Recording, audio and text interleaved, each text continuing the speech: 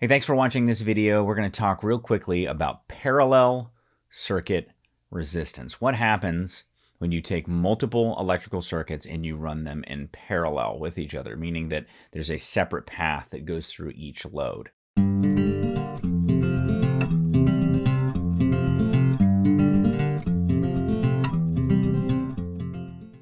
Hear load, some people may not know what that means, but basically a load is the part of an electrical circuit that does something. So it would be like the windings in a motor or the filament in a light bulb or the coil on a stove or in an oven. So the part that actually creates light, heat, magnetism, that is your load. And when you run more than one load where they are in parallel with each other, meaning that you're not going in and out of one to the other like you do in a series circuit, but but you're connecting each side to the power supply it affects the resistance of that circuit differently. So let's talk about how that works. So first off, in a series circuit, the loads are connected in a row or end to end. And it's, you know, we, we see this in Christmas lights. Uh, when you have Christmas light bulbs and one goes out, the old school Christmas lights, then they all go out. And that's because the electrons have to actually move through each load and they're very simple. All you do is you just add up the resistances, and then that is your total circuit resistance.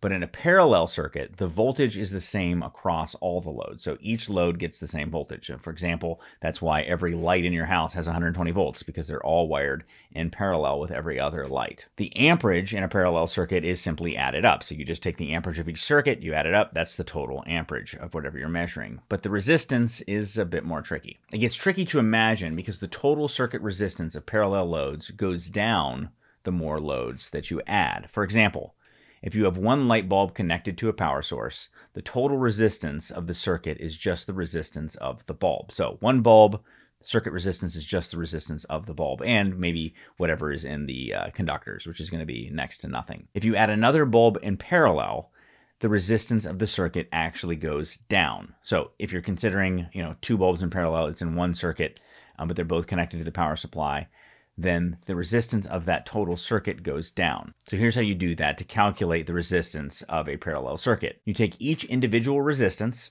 of each load, each circuit within the parallel circuit that you're measuring, and you divide it into, not by, 1. So you divide it into 1.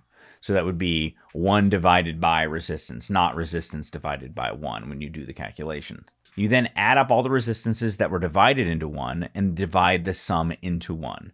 So the formula is going to look something like this. So if we look at this particular illustration that we have here, 1 divided by RT, which is total resistance, equals 1 divided by 120 plus 1 divided by 45 plus 1 divided by 360.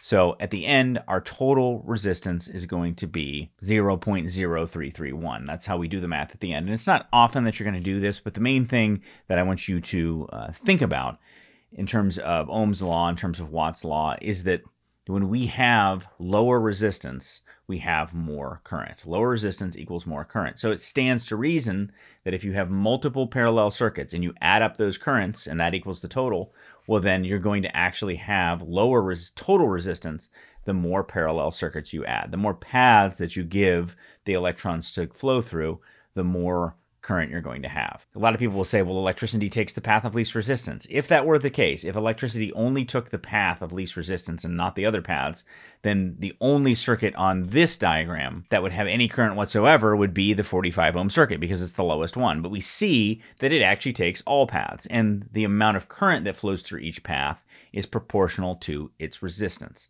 And the more parallel circuits you have, the lower the total circuit resistance. So the lower the resistance, the higher the amps. Adding an additional parallel loads increases the amperage in a circuit, we see this every day when we notice that compressor amps and condenser fan amps added together equals total condenser amps. So that means that those two loads together actually have lower resistance than either of them individually. That can sound counterintuitive because of how we think about what resistance is, but the reality is is that the more current you have, the lower circuit resistance you have. So that's it. Electricity takes all of the parallel paths and the more parallel paths you have, the lower the total circuit resistance. And again, if you want to know how to do the math, we actually have a article on this, hvacrschool.com slash parallel dash circuit dash resistance.